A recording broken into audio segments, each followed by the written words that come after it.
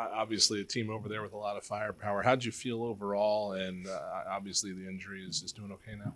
Yeah, uh, it's good to be back. I think uh, felt good, uh, but uh, just I think this game kind of came down. It felt like it was a little like goalie battle there at the end, and I like I think kind of Bob came up on, on top, and obviously you want to kind of win those. It's kind of like the game within the game for for us goalies, and he obviously came up huge in both OT and, and the shootout there. So you wanna you wanna beat a guy like that.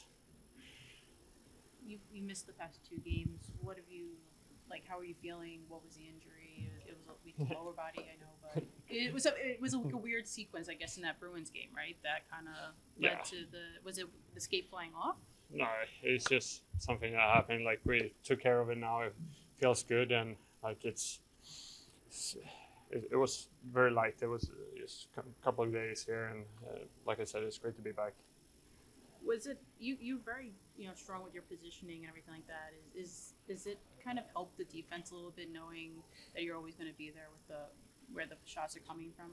No, I think we we've showed we stepped up here lately. I would say, uh, like this road trip, I think we played pretty well. Uh, we've battled uh, kind of like, and we, we played against very good teams. So I think we should be very happy with the way we played. Um, obviously, we want more points, but if we play like this, they're gonna come. you obviously got to watch you know the two games that you didn't play. You were in, in goal for this one.